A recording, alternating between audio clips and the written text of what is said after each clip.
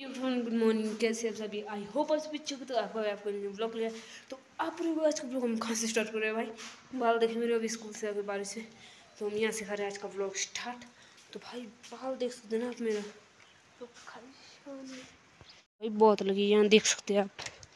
यहाँ से पता नहीं क्या बीजा आज मम्मी ने।